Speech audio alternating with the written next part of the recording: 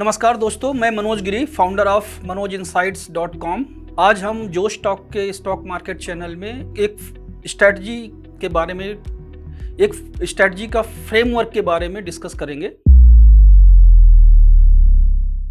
This video is made for educational purposes only and are not meant for financial advice. Viewers are recommended to consult registered financial and investment advisors before making any investment. We disclaim all liability for any loss or damage as a result of any investment that you may consider. We do not promote any finance or investment related courses or products through this channel. इस strategic framework discussion में एक एक आपको framework में share करना चाहूँगा, जिसके through आप अपनी स्ट्रेटजी के कुछ ऐसे पहलू होंगे जिनके बारे में आपको सोचना है, उनको एक्सप्लोर करना है और आपको अपनी स्ट्रेटजी डिज़ाइन या कस्टमाइज करनी है। आप कोई भी स्ट्रेटजी किसी भी सोर्स से सीख सकते हैं, लेकिन जब तक उस स्ट्रेटजी को आप अपना नहीं बनाएँगे या अपना टच नहीं देंगे। जैसे कि आप कोई भी रेसिपी मार्केट से सीखते हैं और उसमें आप अपने फ्लेवर के हिसाब से उसमें नमक या मसाले जो है आप कम ज़्यादा ऐड करके अपने फ्लेवर के हिसाब से उसको अपना बनाते हैं। वैसे ही आपको ट्रेडिंग स्ट्रेटजी के अंदर भी आपको उसमें अपने टेम्परामेंट अपने रिसोर्सेस अपने टाइम अवेलेबिलिटी और अपने साइकोलॉजी के हिसाब से उसको आपको अपना बनाना है। सो लेट स्टार्ट गैस एक बहुत ही बेसिक क्वेश्चन से मैं स्टार्ट करना चाहूँगा कि जब भी आप स्टॉक मार्केट में अप्रोच करते हैं ऑब्वियसली हर कोई यहाँ पे आता है पैसा बनाने के लिए।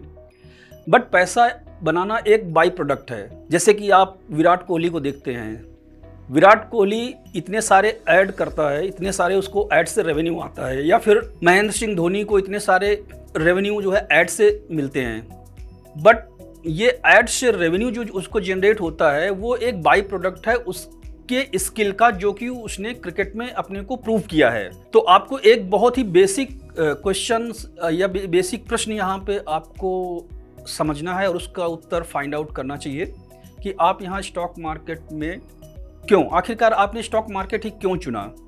अगर आप मेरी बात करें, जैसा कि मैंने अपने जो स्टॉक प्रीवियस वीडियो में डिस्कस किया इस जर्नी में कि एज ए एंटरप्रेन्योर सीड जो कि मेरे अंदर था, एक एक लगन था, एक पैसन था कि मुझे कुछ अपना बिज़नेस करना है। दूसरा फाइनेंशियल फ्रीडम के लिए मुझे ये एक ऐसा प्लेस दिखा जहाँ पे कि हम टाइम फ्री हो सकते हैं लोकेशन फ्री हो सकते हैं और यहाँ पे हम एक वेल्थ क्रिएट कर सकते हैं। So for me this place is a place of entrepreneurship हम किसी भी स्ट्रेटजी में जाने से पहले एक बहुत ही बेसिक कॉन्सेप्ट जो कि मैं आपके साथ शेयर करना चाहूँगा that is called asymmetry of losses ये बहुत ही बेसिक कॉन्सेप्ट है और बहुत ही इंपॉर्टेंट कॉन्सेप्ट है। किसी भी ट्रेडिंग स्ट्रेटजी को समझने के लिए या उसको सक्सेसफुल बनाने के लिए या किसी भी वेंचर में आप it may be any any business venture हमको अपने फंडामेंटल्स पे, अपने कोर पे बहुत ही फोकस करना चाहिए और उसको जितना हो सके उतना स्ट्रॉन्ग होना चाहिए। हमारे पास जितने भी सिनेरियो हों या जितने भी क्वेश्चंस हो सकते हैं, उन सब के बारे में हमारे पास प्री डिसाइडेड एक्शन पॉइंट और उनके आंसर्स हों तो बहुत ही अच्छी बात है। उसी के क्रम में मैं सबसे पहले डिस्कस करना चाहूँगा आपसे asymmetry of losses concept asymmetry of losses concept आपको ये बताता है कि अगर आप किसी भी ट्रेडिंग स्ट्रेटजी में या किसी भी पल या किसी भी मोमेंट आप एक पर्टिकुलर अमाउंट लॉस करते हैं तो आपको उसी लेवल पे आने के लिए उसी लेवल पे आने के लिए उसको हम बोल बोलते हैं ब्रेक इवन पॉइंट उसी लेवल पे आने के लिए आपको कितना गेन करना पड़ेगा. सो so, एग्ज़ाम्पल के तौर पे अगर हम यहाँ पे देखें तो अगर आप किसी भी ट्रेड में या किसी भी कैपिटल को अगर 10 परसेंट लूज करते हैं तो आपको उसी लेवल पे आने के लिए उसी स्तर पर आने के लिए आपको 10 परसेंट गेन नहीं करना पड़ेगा. आपको उससे ज़्यादा गेन करना पड़ेगा. मतलब अगर आपने 10 परसेंट का लॉस किया है तो आपको 11 परसेंट का गेन करना पड़ेगा।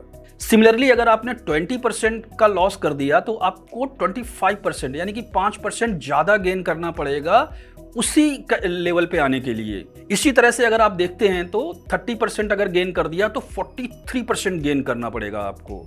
और उसके बाद तो फिर it becomes almost impossible to achieve that 6700 percent kind of returns and it damage your psychology badly so एक इसमें से एक बहुत ही की पॉइंट ये सामने आ रहा है कि losses works losses works geometrically against you इसलिए लॉसेस कंट्रोल करना बहुत ही इंपॉर्टेंट है। अगर आपने किसी भी ट्रेड में बहुत अच्छा गेन किया मगर मगर आप उसको लॉस को कंट्रोल नहीं कर पा रहे हैं तो फिर इट विल अल्टीमेटली क्या होगा कि आप एक महीने, दो महीने या एक साल, दो साल प्रॉफिट बनाएँगे और तीसरे साल फिर से उसको गंवा देंगे। So making money may be easy but retaining money is very very difficult and we have to work on that one also इसी के के तौर पे अगर मैं आपको एक एग्जांपल के थ्रू ये दिखाना चाहूँ कि एग्जांपल के तौर पे अगर आप देखें कि हम मान लेते हैं कि ईयर वन में या मंथ वन में आपने ईयर की को आप मंथ से भी रिप्लेस कर सकते हैं यहाँ पे।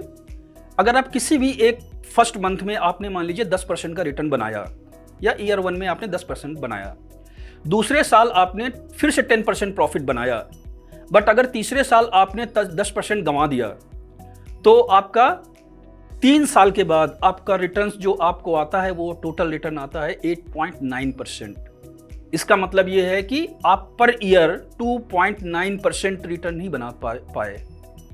इस केस में अगर आपको 2.9 परसेंट पर ईयर रिटर्न आता है so can you think is it worth to trade इससे बेहतर है कि भाई आप आरडी में या एफडी में इन्वेस्ट कर दो। आप अपना क्यों कैपिटल इतना रिस्क करो और इतना टाइम वेस्ट करो? सिमिलरली अगर आप 20 परसेंट गेन करते हैं फ़र्स्ट ईयर में दूसरे साल में 20 परसेंट गेन करते हैं, तीसरे साल में अगर आपने मान लीजिए 20 परसेंट लॉस कर दिया तो आपका तीन साल के बाद रिटर्न जो आता है वो 15.2 परसेंट आता है। यानी कि 4.9 percent per year is it worth to trade in that way similarly अगर 30 परसेंट आपको रिटर्न आता है ईयर वन या मंथ वन में ईयर टू में अगेन 30 परसेंट आपको गेन होता है और तीसरे साल आप फिर से 30 परसेंट लॉस कर देते हैं। उस केस में आपको 18.3 परसेंट रिटर्न आता है टोटल मंथली टर्म्स में ये 5.8 परसेंट है. Again the same question is it worth to trade that kind of way इसी स्टाइल से ट्रेड करना क्या सही है? या इस तरह की स्ट्रेटजी ट्रेड करना सही है? यही वो इसमें से आप इसमें से एक बहुत ही इंपॉर्टेंट पॉइंट है कि आप लॉस को किसी भी तरह से एडजस्ट कर सकते हैं। यानी कि अगर जो तीसरे साल का लॉस है, अगर आप उसको पहले साल में ले लें या दूसरे साल में ले लें तो उससे आपका नेट रिजल्ट्स में कोई फ़र्क नहीं पड़ने वाला है। इसमें से आप सीक्वेंसिंग कुछ भी कर सकते हो। बट नेट रिजल्ट्स आपका वही आने वाला है, जो यहाँ पे थ्री इयर्स और पर एनएम दिया हुआ है। तीस परसेंट के बाद अगर हम फिफ्टी परसेंट का केस लेते हैं 50 परसेंट हमने दिया। आप देखते होंगे सोशल मीडिया पे बहुत सारे लोग जो है आपको डालते हैं 50 percent return sixty percent return but अगर आपने एक साल या एक महीने 50 परसेंट सिक्सटी परसेंट गेन किया, और तीसरे अटेम्प्ट में अगर आपने कहीं 60 परसेंट लॉस कर दिया तो एंड ऑफ़ द डे आपको क्या मिला? कुछ भी नहीं मिला। और 60 परसेंट के बाद तो आपकी एक्सपेक्टेंसी नेगेटिव हो जाती है। मतलब आप आप कैपिटल लूज कर रहे हैं। अगर आपका लॉस गेन और लॉस का रेशियो इसी क्रम में मोर देन 60 परसेंट होता है। So very important mathematical concept आप ध्यान रखिए। Number don't tell a lie number झूठ नहीं बोलते हैं। आपकी गट फीलिंग आपकी बायसनेस आपके ओपिनियन गलत हो सकते हैं नंबर गलत नहीं हो सकते। इसलिए आप अपनी ट्रेडिंग में इन नंबर्स को जगह दें और उससे अपनी ट्रेडिंग को बहुत ही ऑब्जेक्टिव बनाएँ।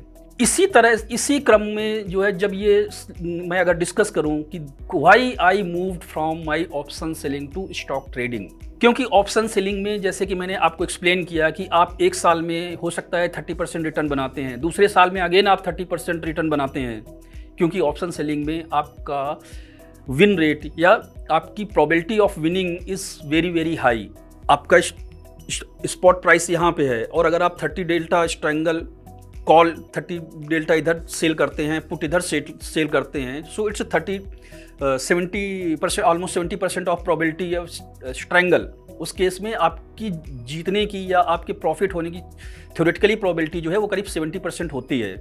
तो अगर आपने पहले साल 30 परसेंट बनाया प्रॉफिट दूसरे साल 30 परसेंट बनाया और तीसरे साल आपने लॉस कर दिया, जैसा कि ऑप्शन सेलिंग में अक्सर होता है कि एक इवेंट आपका सारा का सारा साल का प्रॉफिट या छह महीने का प्रॉफिट लेके चला जाता है। तो आपको क्या रिटर्न मिलता है? 18.3 परसेंट और एनुअल बेसिस पे अगर हम देखें तो 5.8 परसेंट ही आता है। दिस वॉज़ द मोमेंट कि मैंने डिसाइड किया कि मुझे ऑप्शन सेलिंग से बाहर निकलना है। आज नहीं तो कल ऐसा बैड मार्केट या ऐसी बैड कंडीशन या ऐसी इवेंट आएगी ही आएगी। मार्केट इज़ ऑलवेज डायनेमिक हमेशा ये चेंज होता रहता है। और जब भी आपका loss more than ten percent होता है। So mathematically statistically it becomes difficult to actually manage that one so आप जो भी ट्रेडिंग स्ट्रेटजी या जो भी ट्रेडिंग स्टाइल अपना रहे हैं अपनी ट्रेडिंग स्ट्रेटजी mm, में आप ध्यान रखें आपको डिसाइड करना है कि what is your uncle point what is your max pain area जिसके बियॉन्ड आपको अपनी लॉस को नहीं जाने देना है। एक बहुत ही इंपॉर्टेंट कॉन्सेप्ट है दैट इज़ एज अगर आप कोई भी स्ट्रेटजी ट्रेड करते हैं और उसमें अगर एज नहीं है तो उसके सक्सेस होने की चांसेस नहीं है। आप उसको कितने भी दिन ट्रेड करते जाइए, आप अपना कैपिटल लॉस करते जाएँगे। इसलिए कोई भी स्ट्रेटजी आप जो भी चूज़ करते हैं, आप पोजिशनल ट्रेड करते हैं स्विंग करते हैं इंट्राडे करते हैं, जो भी करते हैं, आपको उस स्ट्रेटजी के बारे में आपको अपनी एज पता होनी चाहिए। बेसिकली एज क्या है? एज ये है कि जब आप over a series of trade अगर आप करते हैं तो उसकी क्या एज है? एक्सपेक्टेंसी क्या है उसकी? और ये हमेशा पॉजिटिव होनी चाहिए to win in the race इस गेम में अगर आपको जीतना है तो आपकी एज या एक्सपेक्टेंसी पॉजिटिव होनी चाहिए।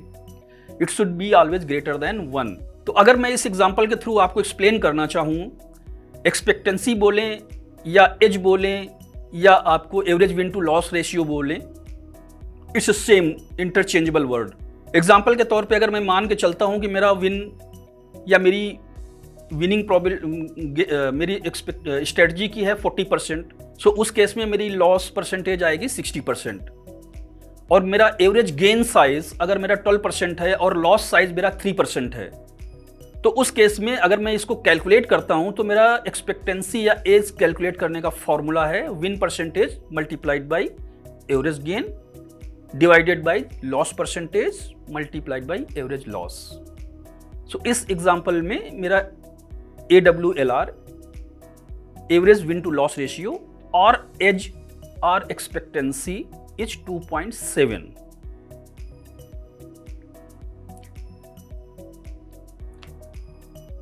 now ये मैंने आखिरकार ये ट्रेंड फॉलोइंग सिस्टम ही क्यों चुना? I was successful in option selling या मैंने इंट्राडे क्यों नहीं चुना? या इस दूसरा कोई स्टाइल क्यों नहीं चुना?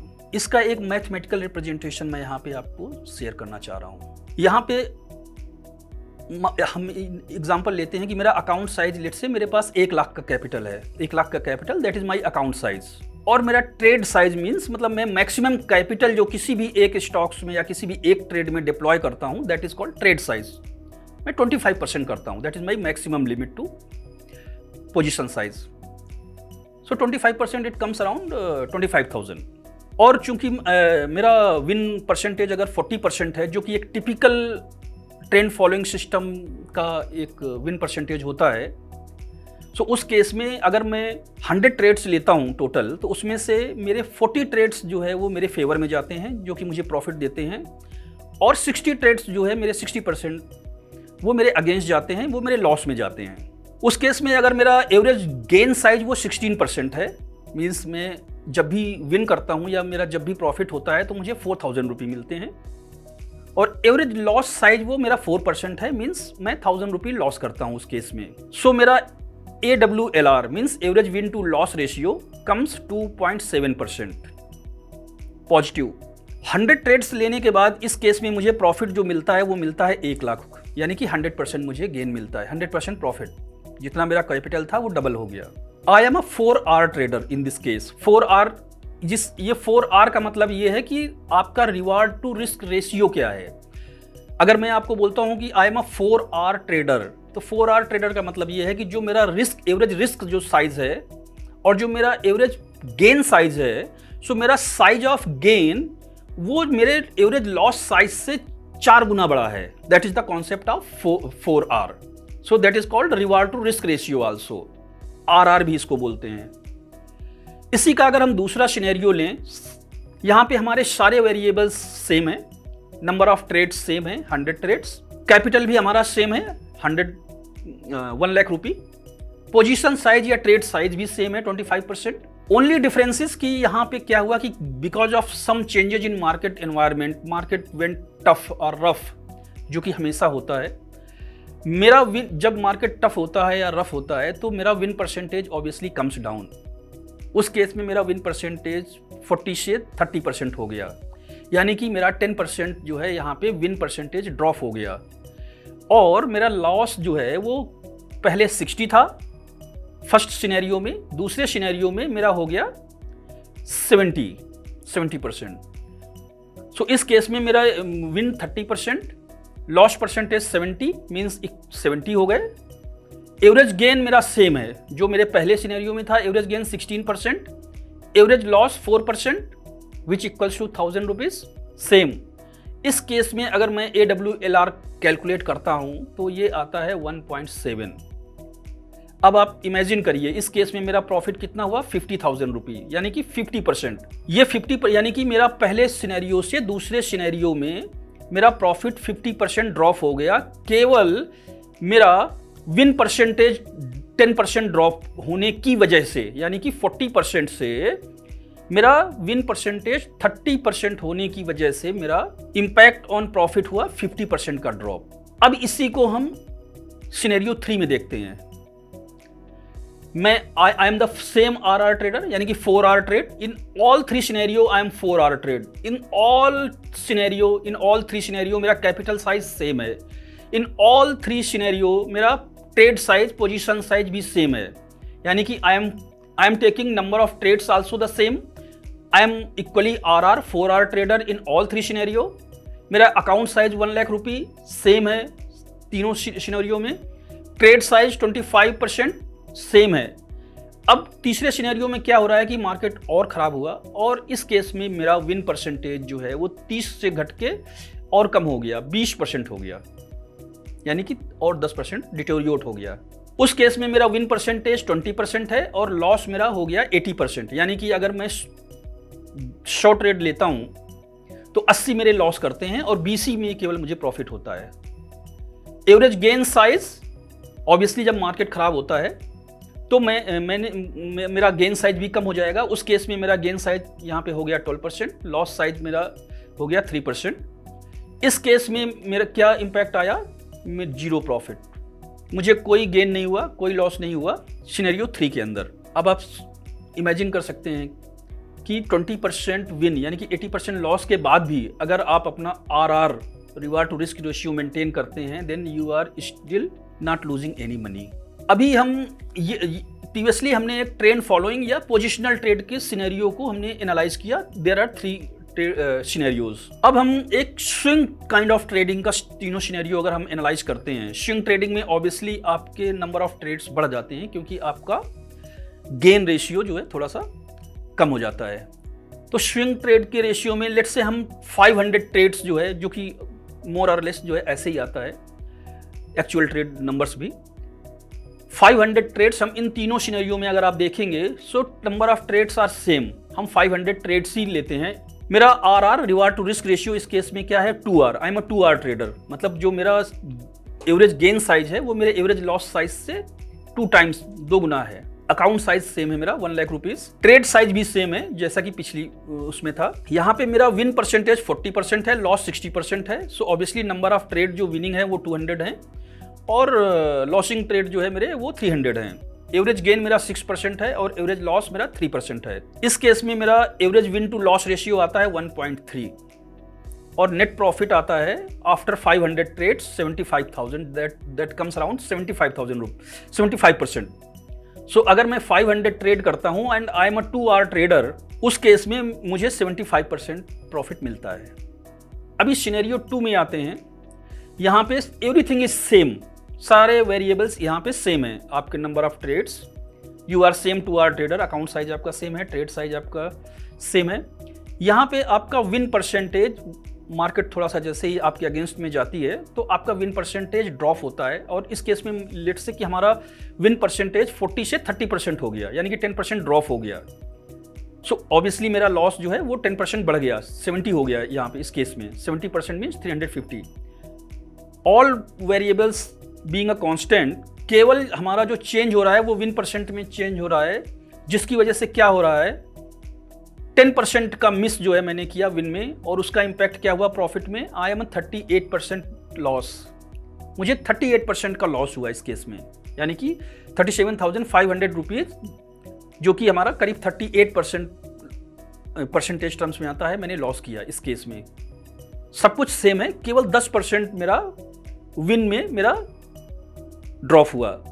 अभी सिनेरियो थ्री में अगर आके हम देखें, जहाँ पे कि मेरा again five percent let's say five percent और ड्रॉप हो जाता है मेरा विन रेट जो कि वेरी नेचुरल है। जब मार्केट खराब होता है तो हो जाता है। सब कुछ सेम होते हुए मेरा number of trades two R trade account size position size अगर मैं फाइव परसेंट का और ड्रॉप होता है मेरे विन परसेंटेज में, उस केस में क्या होता है? मुझे जो है लॉस होता है ninety three thousand seven fifty यानी कि नाइन्टी फोर परसेंट का लॉस होता है।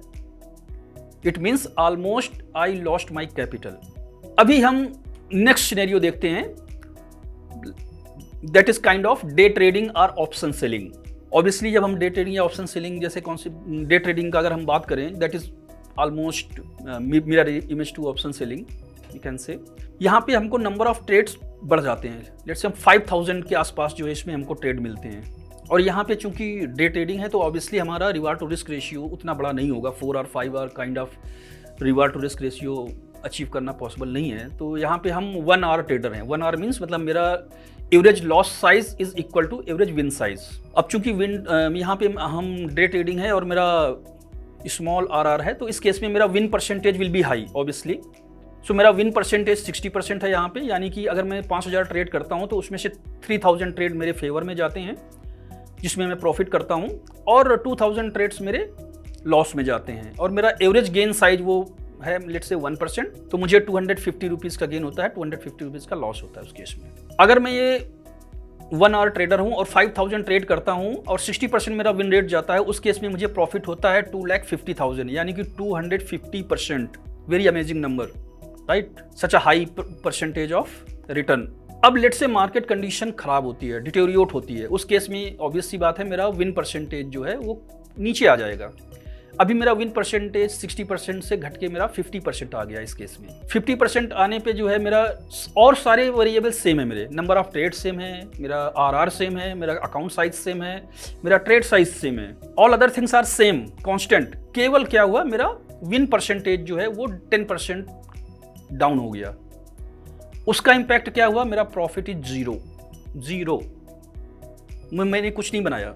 लेट से फर्दर अभी क्या होता है कि फर्दर मार्केट थोड़ा सा खराब होता है और उस केस में मेरा विन परसेंटेज पाँच परसेंट और ड्रॉप हो जाता है। बाकी सारे वेरिएबल्स मेरे सेम है नंबर ऑफ़ ट्रेड सेम है account size same thousand trade size twenty five percent same यहाँ पे क्या हुआ? फाइव परसेंट फर्दर डाउन हुआ मेरा विन परसेंटेज उसका इम्पैक्ट क्या हुआ? I lost hundred and twenty five percent. मतलब मैंने अपना कैपिटल पूरा का पूरा लॉस कर दिया और बल्कि उसके ऊपर भी लॉस कर दिया। So this is the reason where we say making money is easy and retaining money is much more difficult. And numbers don't tell a lie. जब भी आप ट्रेड करते हैं आप या कोई भी आप स्ट्रेटजी सीखने जाते हैं किसी के पास या कोई भी स्ट्रेटजी आप अपने लिए अडॉप्ट करते हैं आपको उस स्ट्रेटजी के नंबर्स के बारे में एक्सप्लोर करना चाहिए आप ज़रूर उस स्ट्रेटजी के बारे में पता करें कि इस स्ट्रेटजी का विन परसेंटेज क्या है, इस स्ट्रेटजी का एवरेज विन साइज़ क्या है, इस स्ट्रेटजी का एवरेज लॉस साइज़ क्या है, इस स्ट्रेटजी की एक्सपेक्टेंसी क्या है, ये चीज़ें आपको ज़रूर जाननी चाहिए। जिससे सीखने जाते हैं, उससे भी जाननी चाहिए। और अगर आप ट्रेडिंग कर रहे हैं तो आपको अपने ट्रेड्स के बारे में भी जानना चाहिए। आपको एक ऑस्ट्रिच सिंड्रोम में नहीं रहना चाहिए। ऑस्टिस सिंड्रोम मतलब जो है आपको अपने नंबर क्या हो रहा है पता ही नहीं है आपके ट्रेडिंग में। चलिए आगे बढ़ते हैं। तो अभी एक फ्रेमवर्क जो एक सिंपल सा ट्रेडिंग के लिए है कि एक state what is necessary for trading success किसी भी ट्रेडिंग में सक्सेस के लिए आपको क्या इंग्रेडिएंट्स चाहिए? जो ऑब्वियस सी बात है, एक आपको ऐसी स्ट्रेटजी चाहिए जिसमें पॉजिटिव एक्सपेक्टेंसी हो, जिसमें एज हो। एज होने का मतलब ये है कि जब आप एक over the series n number of trades या सीरीज़ ऑफ़ ट्रेड्स आप करते हैं तो उसमें पॉजिटिव एक्सपेक्टेंसी होगी तो आपको प्रॉफिट आना चाहिए। We are not talking about trade by trade obviously trade by trade में जो है किसी में प्रॉफिट होता है, किसी में लॉस होता है। That is a part that is a core nature of trading we should understand दुनिया में ऐसी कोई स्ट्रेटजी ट्रेडिंग स्ट्रेटजी नहीं है जिसमें लॉस ही ना होता हो। ऐसी स्ट्रेटजी केवल दो लोगों के पास हो सकती है या तो गॉड के पास और या तो फिर लॉयर चीटर के पास। सो so, आप जब भी ट्रेडिंग के लिए आप अप्रोच करते हैं या अपना ट्रेडिंग का फ्रेमवर्क बनाते हैं आप first you should find out your trading style आप डिसाइड करिए कि आपको कौन सी ट्रेडिंग स्टाइल सूट करती है। आप कौन सी ट्रेडिंग स्टाइल अडॉप्ट करना चाहते हैं अपने फ्यूचर अपने करियर के लिए। पोजिशनल ट्रेंड फॉलोइंग या स्विंग ट्रेडिंग या intraday scalping option selling what और जो भी आप करते हैं उसमें आपको अपना आर आर मेंटेन करके रखना है। अगर आपने आर आर मेंटेन नहीं किया कहीं पे भी अगर आपने अपना R R means reward to risk ratio अगर आपने लूज़ किया आपने उसकी पॉजिटिव एक्सपेक्टेंसी लूज़ किया आपकी एज ख़त्म हो जाती है और आप लॉस मेकिंग सिनेरियो में दलदल में चले जाते हैं। सो so, आपको you have to find out your trading style next आपको ऐसी ट्रेडिंग स्ट्रेटजी फिगर आउट करनी है जिसमें कि एक एज हो और उस एज के साथ आपको ट्रेड करना है। Risk management is prime important जैसे कि हमने आपको दिखाया कि asymmetry of losses losses works geometrically against you अगर आपने रिस्क कंट्रोल नहीं किया तो कोई भी स्ट्रेटजी हो it becomes very very tough to actually gain in the long run to success और रिस्क का नेचर आपको समझना है, क्योंकि most of the risk is actually subjective hidden and unquantifiable very difficult actually to quantify any particular strategy and we say कि अभी किस time पे, किस नेचर में कोई भी रिस्क जो है आपके सामने इमर्ज होगा। So risk is always disguised दूसरा है कि बी कंसिस्टेंट जो भी स्ट्रेटजी आप ट्रेड कर रहे हैं, उसमें कंसिस्टेंट रहें। स्ट्रेटजी ड्रिफ्ट ना करें। ये एक बहुत ही कॉमन प्रॉब्लम्स होती है ट्रेडर्स के साथ में कि वो एक स्ट्रेटजी लेते हैं ट्रेड करते हैं छः महीने बाद। अगर उस स्ट्रेटजी का एक डाउन टाइम आता है तो वो स्ट्रेटजी से दूसरे स्ट्रेटजी में शिफ्ट करना शुरू कर देते हैं। So you will always be on the wrong side at the wrong time तो आप जो भी स्ट्रेटजी है and it's proven and robust then you should be stick to that strategy keep it simple आप इसको सिंपल रखें complex मत करें। अपने करियर के स्टार्ट में मैं बहुत सारे indicators R S I M S C D super trend क्या क्या मैं ट्रेड करता था। बट मैंने जब मार्केट विजिट्स को अप्रोच किया, मैंने जब इतने सारे टेंस ऑफ़ वर्कशॉप्स अटेंड करने के बाद मैंने डिसाइड किया कि मुझे अब डोमेस्टिक वर्कशॉप से कुछ भी गेन नहीं हो रहा है देन आई डिसाइडेड कि मैं market wizards best of the best से ही सीखूँगा। उस केस में मैंने Mark Minervini, David Ryan, Stan Weinstein Oliver Kell और मैट क्रूशो जैसे ट्रेडर्स जो कि already US investing champions winners हैं और मार्केट विजिट्स हैं, मैंने उन, उनसे सीखा। और मैंने एक बहुत ही कॉमन चीज़ उनके अंदर पाई। They are very particular about risk management और उनके चार्ट जो है, वो बहुत ही बहुत ही क्लीन नीट एंड क्लीन होते हैं। उसमें कोई इंडिकेटर नहीं। सिंपल प्राइस और वॉल्यूम और एक सिंपल मूविंग एवरेज बहुत ज़्यादा वो यूज़ करते हैं। जैसे कि मैं बाद में उसको अपने लिए मैंने यूज़ किया कि price is a king and volume is a queen यानी कि प्राइस और वॉल्यूम आपको हमेशा दो are the prime rest other thing is noise दूसरा, आप कोई भी स्ट्रेटजी सीखें, आप उसका फंडामेंटल्स ज़रूर सीखें। उस स्ट्रेटजी के कोर में क्या है? उस स्ट्रेटजी के हार्ट में क्या है? जैसे कि अगर मैं एग्जांपल लेता हूँ कि भाई everybody is using 200 days moving average but 200 days moving average use करते क्यों हैं भाई? हम 250 भी कर सकते हैं 300 भी कर सकते हैं 365 डेज़ होते हैं 365 डेज़ कर लेते हैं। 200 डेज़ में ऐसा क्या है? इसका आंसर आपको मिल, हमको जाके मुझे मिला। जेरमी सीगल वाटन के professor Stocks for the Long Run की बुक में। दूसरा गॉर्डन की स्टडी में मिला जाके। तो आप किसी भी स्ट्रेटजी का कोर या हार्ट उसका फंडामेंटल ज़रूर समझें। क्योंकि जब मार्केट कंडीशन चेंज होगी तो आप अपनी स्ट्रेटजी को उसी हिसाब से अडेप्ट कर पाएँगे। There is no shortcut you should always remember and the difficulty in trading is actually is not learn strategy आप स्ट्रेटजी तो सीख सकते हैं। The most difficult part in any trading is application of those strategy और वो application आप strategy का तभी कर पाएँगे जब आप उसको अपना बनाएँगे, अपना अडॉप्ट करेंगे। आपको एज कहाँ पे मिलेंगी? एज आप एक्चुअल जो है एज आप, जैसे कि एग्जांपल है, ये एज जो है आपको एनालाइज करेंगे, अगर आप जो है बेसिक फंडामेंटल चीज़ें आप एनालाइज करेंगे, जहाँ पे बायर्स और सेलर इंटरेक्ट करते हैं आपस में।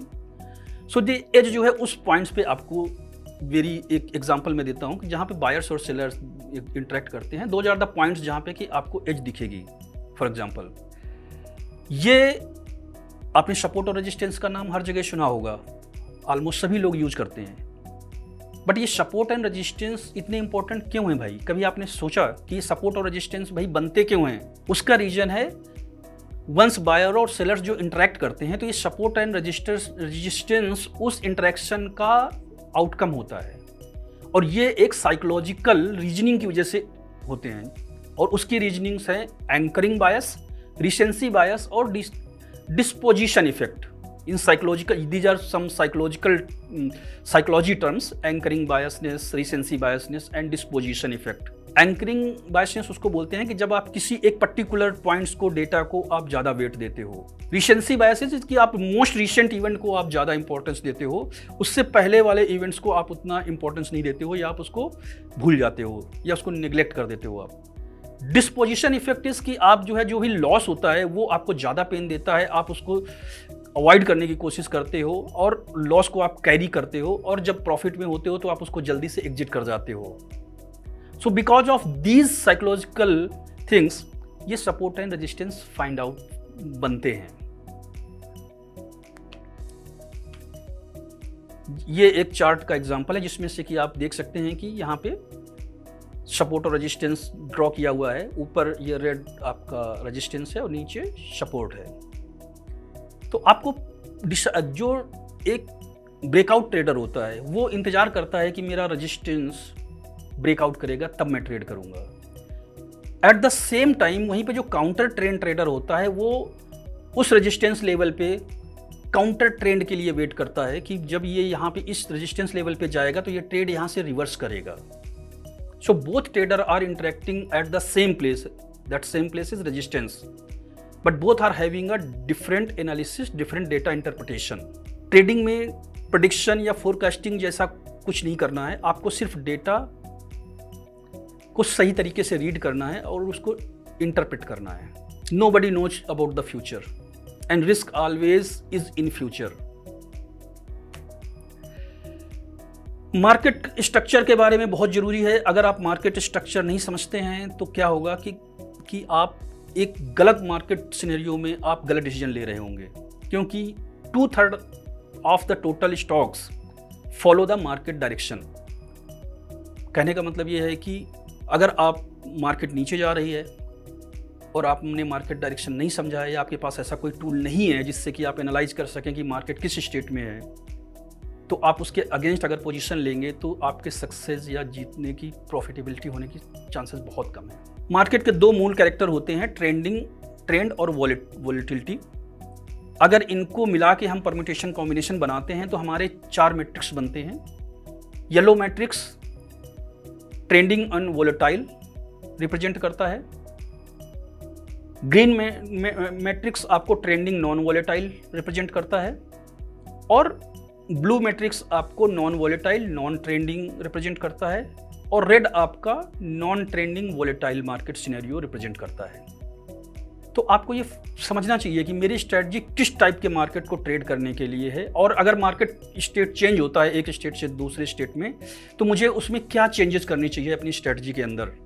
कैसे मुझे अपना गियर शिफ्ट करना चाहिए? और मार्केट हमेशा इन्हीं फोर स्टेट्स में मूव करता रहता है।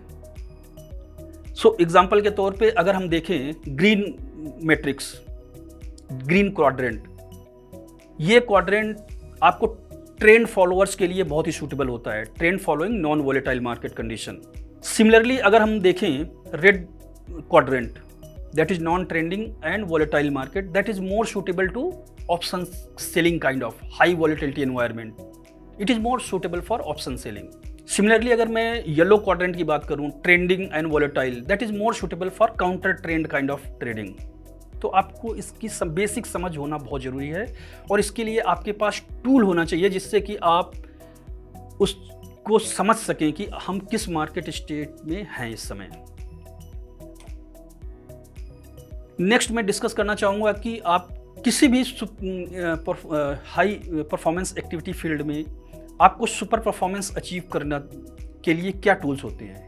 अगर मैं यहाँ पे स्टॉक मार्केट में स्टॉक ट्रेडिंग की बात करूँ तो सुपर परफॉर्मेंस ट्रेडिंग के लिए आपको four, crucial four are important है। नंबर एक, राइट स्टॉक।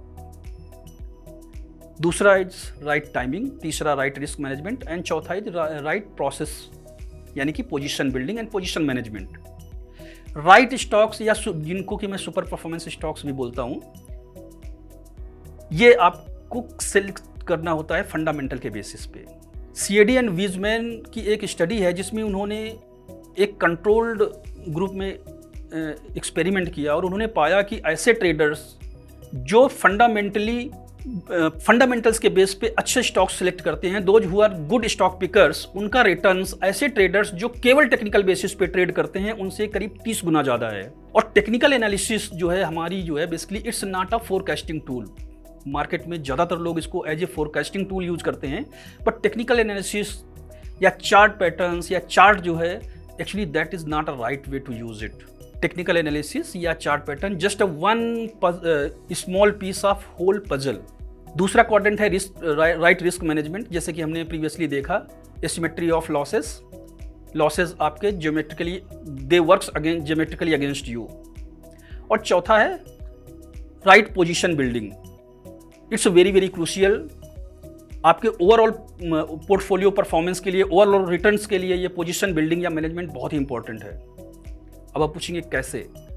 एग्ज़ाम्पल के तौर पे मान लीजिए आपके पास जो भी कैपिटल है आपका अकाउंट साइज़ आपने पाँच परसेंट उसमें किसी स्टॉक्स में आपने बाई किया और वो स्टॉक्स जो है हंड्रेड परसेंट या टू हंड्रेड परसेंट मूव किया रन किया। तो आपको क्या, आपका ओवरऑल गेन कितना होगा? आपका पोर्टफोलियो कितना मूव करेगा? क्योंकि आपने तो उसमें जस्ट पाँच परसेंट ही बाई किया है। और अगर अगर मान लीजिए ऐसा स्टॉक्स जो आपने आइडेंटिफाई किया और वो hundred to hundred percent move करता है और आपने उसमें ट्वेंटी फाइव परसेंट बाई किया हुआ हुआ है, अब आप इमेजिन करिए कि आपको कितना गेन होगा और आपका पोर्टफोलियो कितना आगे मूव कितने अच्छी तरीके से उसका इम्पैक्ट आएगा। ओवरऑल पोर्टफोलियो गेन में। सिमिलरली अगर आपने मान लीजिए किसी स्टॉक्स में एकदम सडनली आपने बाई किया और उसमें 50 परसेंट आपने अपने टोटल कैपिटल का एक ही स्टॉक में बाई कर लिया और अगले दिन वो स्टॉक गैप डाउन हो गया 20 परसेंट अब आप सोचिए कितना लॉस हो, होगा बड़ा आपको। Losses works geometrically against you तो यहाँ पे आपको एक ऐसी स्ट्रेटजी डेवलप करनी है आपको ऐसा एक टूल डेवलप करना है जिसके थ्रू आप जो है रिस्क को भी मैनेज कर सको और जब आपको प्रॉफिट हो रहा हो किसी भी ट्रेड में तो आप उसमें से मैक्सिमम टू मैक्सिमम उस प्रॉफिट को लेवरेज कर सको। अगर आप मेरे से पूछेंगे कि मैं क्या यूज़ करता हूँ अपने एनालिसिस के लिए so frankly I am not using any indicators मेरे जो टूल्स हैं एनालिसिस के लिए वो फंडामेंटल्स हैं स्टॉक्स के फंडामेंटल्स कंपनी के फंडामेंटल्स और ये फंडामेंटल्स बहुत टिपिकल मेट्रिक्स नहीं है जो कि हम सीख नहीं सकते हैं। सिंपल सेल्स मार्जिन और ईपीएस अर्निंग पर शेयर और R O E return on equity only these four metrics I am using in my stock selection another is price volume for the as I say price is king and volume is queen and moving average for reference that's it एक बहुत ही important concept है charts जो कि actually इसका बहुत ही misuse होता है। लोग चार्ट्स को एज ए प्रोडिक्शन या फोरकास्टिंग टूल यूज़ करते हैं। मेरी समझ में that is not a right way chart is simply just a data visualization tool जैसे कि आप किसी भी कंपनी का सेल्स या इन्वेंट्री को रिप्रेजेंट करने के लिए आप बार चार्ट या पाई चार्ट का यूज़ करते हैं। ये कैंडल या बार चार्ट जो भी है चार्ट ये सिंपल आपका वो डेटा रिप्रेजेंटेशन टूल है। दैट्स इट ये आपको सिर्फ़ ये बताता है कि उस पर्टिकुलर पॉइंट में उस स्टॉक का हेल्थ क्या है। जैसे कि आप जाते हैं अपना हेल्थ चेकअप कराते हैं और आपका ई e सही होता है। तो इसका मतलब है कि आपका हार्ट हेल्दी है। बट इट डजेंट मीन कि आप, आपको जो है एक महीने बाद या अगले हफ़्ते कोई ऐसी घटना नहीं घट सकती है। देर आर चांसेस वो के सिमिलरली चार्ट आपको केवल एक हाइपोथेसिस टेस्टिंग का एक टूल है। अगर आप मेरी बात करें तो मैं चार्ट को केवल as a risk management tool use करता हूँ।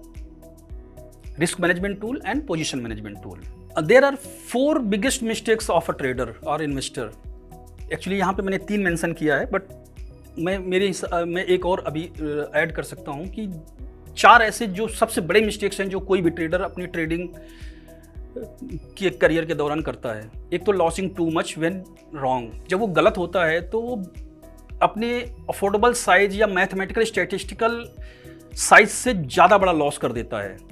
एंड वी नो कि losses works geometrically against us दूसरा है missing out on significant move कई बार ऐसा होता है कि स्टॉक्स जो है सिग्निफिकेंट मूव यानी कि रन करना शुरू कर देता है, दौड़ना शुरू कर देता है, और हम उस स्टॉक्स को बाई नहीं कर पाते हैं या किसी रीजन से हम उसको आइडेंटिफाई नहीं कर पाते हैं, और वो स्टॉक्स छूट जाता है, और हम उसको देखते रहते हैं कि ये 100 परसेंट गया 200 गया 400 परसेंट गया। तीसरा है leaving money on the table हम स्टॉक बाई करते हैं, हमारे फेवर में जाता है और हम उसको प्रॉफिट बुक कर लेते हैं। हमने उसको आठ परसेंट, दस परसेंट में प्रॉफिट बुक कर लिया। और फिर हम देखते हैं कि वो स्टॉक चलता जा रहा है, चलता जा रहा है। थर्टी परसेंट हो गया, फिफ्टी हो गया, हंड्रेड हो गया। हम उस स्टॉक्स में थे, लेकिन हमने जल्दी एग्जिट कर लिया। चौथा है, जैसे कि मैंने आपको प्रीवियसली बताया कि हम स्टॉक्स जो है हंड्रेड, टू हंड्रेड परसेंट गया, लेकिन हम उस स्टॉक्स में केवल पाँच परसेंट ही बाई कर पाए।